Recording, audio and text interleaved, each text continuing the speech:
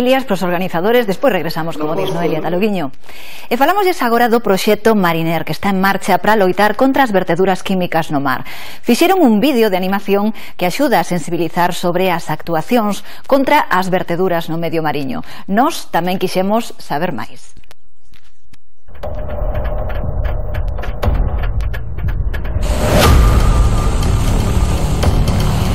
La Unidad de Documentación y Apoyo Científico de Intecmar, en conjunto con, otras unidades, especialmente la de modelado oceanográfico, estamos involucrados principalmente en el Plan Territorial de Contingencias por Contaminación Marina Accidental, que es el, denominado Plan Cangal, que es el que estructura un poco cómo es la respuesta a nivel de la comunidad autónoma e intenta encuadrar también los, planes de respuesta de niveles inferiores.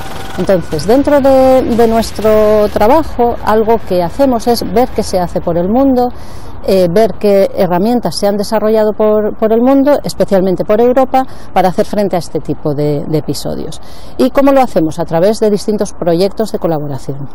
Estos proyectos nos permiten, por un lado, conocer cómo, responde a este tipo de emergencias otras instituciones y otros, otros organismos y por otro lado desarrollar herramientas que nos sean útiles tanto a nosotros como a toda la fachada atlántica principalmente que es con quien trabajamos.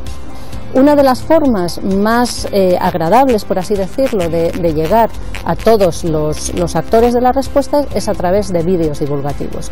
Como una imagen vale más que mil palabras y estos, estos vídeos nos ayudan a recoger protocolos que utilizamos en los simulacros, por ejemplo, a enseñar cómo funcionan algunos de los de, las herramientas de las que disponemos, herramientas informáticas, herramientas como son barreras de contención, eh, trajes especiales, etcétera.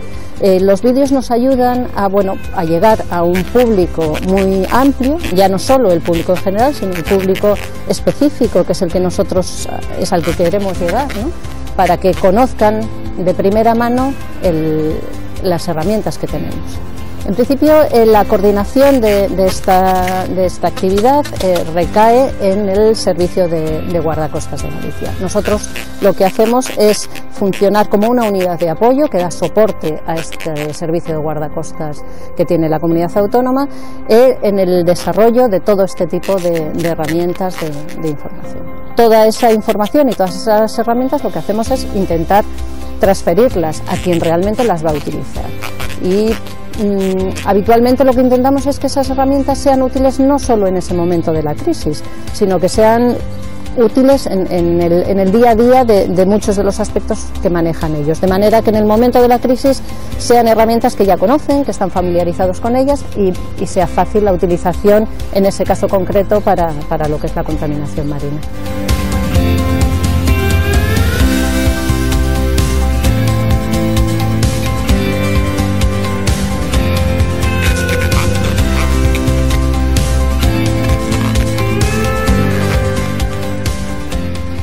Esta semana en